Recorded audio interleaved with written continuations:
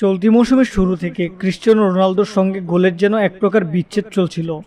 Of ফর্মের কারণে English premier লিগে মূল একাদশের জায়গা হারিয়েছে এ পর্তুগিজ যুবরাজ। অবশেষে ইউরোপা লিগের ম্যাচ খেলতে নেমে মৌসুমের প্রথম গোলের দেখা পেলেন পাঁচবারের ব্যালেন্ডিয়র জয়ী তারকা। বৃহস্পতিবার রাতে ইউরোপা লিগের শেরিফের বিপক্ষে ম্যাচে পেনাল্টি থেকে গোল করেছেন রোনালদো। আর তার আগে জেডেন স্যাঞ্চো ম্যাচের প্রথম গোল করেন।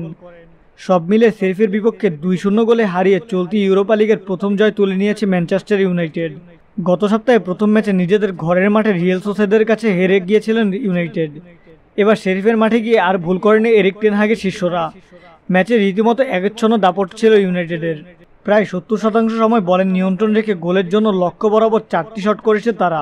ম্যাচের প্রথম গোলের জন্য অপেক্ষা করতে হয়েছে মাত্র সতেরো মিনিট পর্যন্ত। ডিবক্সের মাথায় সাঞ্চোর উদ্দেশ্যে দারুণ এক পাস এগিয়ে দেন ক্রিশ্চিয়ানো এরিকসন। বাম পায়ে বলটি রিসিভ করে নিখুঁত ফিনিশিংয়ে ডান দিকের জাল কাপান বাইশ বছর বয়সী উইঙ্গার সাঞ্চো।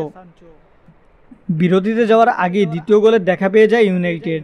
ম্যাচের আটত্রিশ মিনিট সময়ে অ্যান্থনি ডিবক্সের ভেতরে এগিয়ে দেওয়া পাস ধরতে ছুটে গিয়েছিল দিয়েগো ড্যালট কিন্তু তাকে পেছন থেকে ফেলে দেয় সেরিফের কোপেজো। পরিষ্কার ফাউলে পেনাল্টির বাসি বাজাতে এক মুহূর্ত দেরি করেনি রেফারি গোলের সহজ সুযোগ পেয়ে তা কাজে লাগাতে ভুল করেনি রোনালদো, যা চলতি মৌসুমে তার প্রথম গোল। সব মিলিয়ে ক্লাব কেরিয়ারে রোনালদোর এটিও ছয়শো উননব্বইতম গোল। পরে দ্বিতীয়ার্ধে আর তেমন সুযোগ তৈরি করতে পারেনি ইউনাইটেড, তাই দুই শূন্য গোলের জয় সন্তুষ্ট থাকতে হয়েছে তাদের।